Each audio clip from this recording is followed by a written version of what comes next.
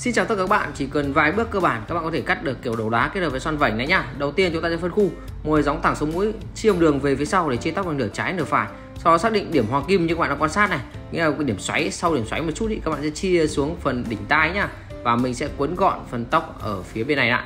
Như vậy là mình đã phân xong được phần phân khu chữ thập. Và cái này là mình thực hiện trong quá trình mình đang lên lớp khóa thợ phụ lên thợ chính K3 30 nhá. Các bạn nào quan tâm đến những khóa học từ cơ bản đến nâng cao hoặc các khóa khác các bạn có thể là liên hệ mình nhá để lại số điện thoại bên dưới để được hỗ trợ nha. Ok, mình phân khu xong rồi thì đây là hiệu quả quá trình phân khu. Tiếp tục mình đến bước phân mảng. Mình sẽ phân một mảng ngang, chạy từ phía sau ra phía trước, ở giữa đỉnh đầu và tóc phía trước. Bước tiếp theo là bước cắt nha. Để cắt thì mình sẽ lấy một chút tóc ở phần tóc phía trước thả xuống qua mắt và chúng ta sẽ cắt quyết định độ dài. Sau đó mình sẽ nâng hết phần tóc này lên, nâng góc độ là 90 độ, lấy điểm trung tâm làm chuẩn nha. Nghĩa là điểm sống mũi gióng thẳng lên đấy gặp tóc ở đâu thì đấy là điểm trung tâm, nâng 90 lên. Và các bạn quan sát đường chuẩn ở phía trước chúng ta sẽ cắt đường cắt 90 nghĩa là nâng 90 cắt đường cắt 90 và đây là hiệu quả nhá. Xong rồi mình sẽ chia đôi đường chuẩn và mình sẽ kiểm tra nếu mà một đường bằng với lớp mảng tóc mỏng ở phía trước này là người đã nâng đúng trung tâm mảng nhá. Tiếp tục chúng ta chia đôi đường chuẩn, chia tiếp lớp mảng tóc tiếp theo, độ dày khoảng 2 cm thôi nha mọi người. Và chúng ta xác định là nghiêng dịch 2 về 1 3 về 2 và 4 về 3 để cắt. Hay đây gọi là kết cấu vuông vuông 4 nha. Các bạn sẽ nâng mảng sau, song song với mảng trước đó. Các bạn sẽ để cái mặt lược này, song song với một mặt ở phần tóc phía trước này, là người đã cắt nâng đúng góc độ nhá. Nghiêng dịch thật là chuẩn xác cho mình nhá. Nghĩa là nghiêng dịch mặt sau, song song với mặt trước. Hay các bạn bên ngoài với này nói là nghiêng dịch 2 về 1 3 về 2 và 4 về 3 để cắt. Đây là cắt kết cấu vuông nhá. Các mảng tóc tiếp theo các bạn sẽ chia tương tự và chúng ta nâng đúng góc độ 90 đường cắt 90 để cắt nhá.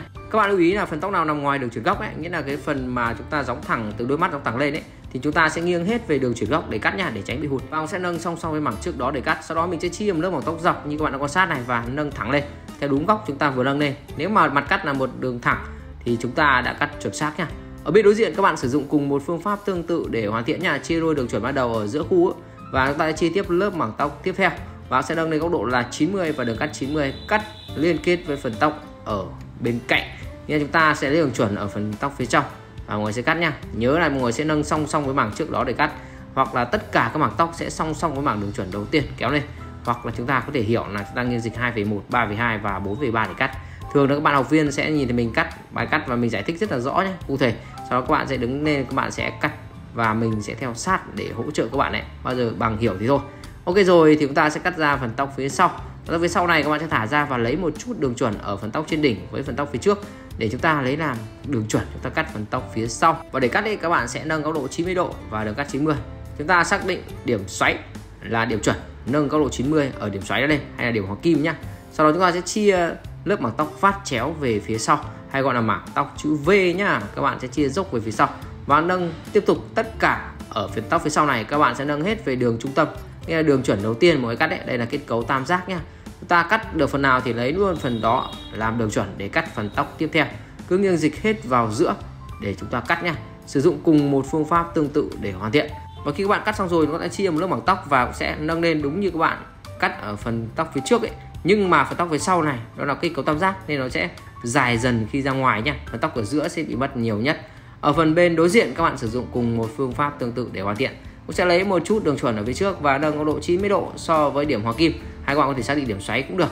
Và chúng ta sẽ nâng 90 cắt 90 nhá, cắt theo đường chuẩn phía trước lưu ý là mọi người sẽ chia mảng vát chéo về phía sau hay mảng chữ V nhá. Trong quá trình các bạn thực hiện bài cắt này, nếu gặp bất kỳ con gì, các bạn có thể nhắn cho mình để mình hỗ trợ nhá. Hoặc có thể tham khảo những khoa học trực tiếp hoặc online của mình, đặc biệt là khoa học phụ lên thợ chính giống như các bạn đang ngồi bên dưới kìa. Chỉ cần hai tháng rưỡi là các bạn có thể cắt uốn nhuộm rất là thành thạo rồi nhá. Ok rồi, thì mình sẽ tiếp tục trải hết phần tóc này sang hai bên. Và chúng ta sẽ đỡ lược như các bạn đang quan sát ở bên dưới nhé các bạn tản tóc ra nhá, trải thật mượt và sau đó đưa mũ lược ra phía trước, chúng ta sẽ hạ thấp góc độ xuống. Đây là kết cấu tam giác ngược nhá, hướng về phía trước. Đến chỗ nào thì chúng ta dừng lại, đúng sống mũi thì các bạn dừng lại nhá. Và quan sát phần tóc phía trên, làm được chuẩn cắt đi phần tóc thừa ở bên dưới. Nó ra một cái dạng layer rất là đẹp nhá. Ở bên đối diện các bạn sử dụng cùng một phương pháp tương tự để hoàn thiện. Khi các bạn cắt xong ấy thì nó sẽ ra cái dạng layer như thế này. Bây giờ mình sẽ trải hết phần tóc này về phía sau để mình cắt bớt đi phần khuôn viền ở phía sau, nó đỡ nhọn nhá đấy các bạn thấy không? Cắt ra cái dạng đầu lá rất là đẹp. Bây giờ mình chỉ sửa lại một chút khuôn viền thôi. Nếu tóc khách hàng dày ấy, và dài thì mình có thể để độ vát nó nhiều hơn. Như đây mọi người thấy quan sát là đầu canh của mình cái tóc hơi mỏng và hơi ngắn thì mình sẽ cắt bớt đi nhá. Càng tóc ngắn chúng ta càng để độ vát ít thôi. Bây giờ mình chỉ tiến hành phương pháp mình tỉa nhá. Các bạn sử dụng kéo răng cưa với độ đi tóc khoảng 15 đến 20 phần trăm.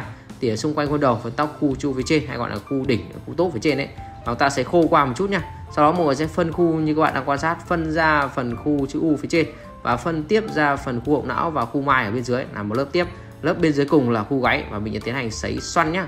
Với bài này chúng ta sẽ tiến hành sấy xoăn vẩy, đúng không ạ? Chúng ta sẽ đầu tiên mọi người sẽ làm mượt tóc đã, sau đó chúng ta sẽ đưa lược vào bên trên của mảng tóc và chúng ta sẽ sấy ngược nhé mục đích là chúng ta tạo khung hình cho cái lọ sóng này.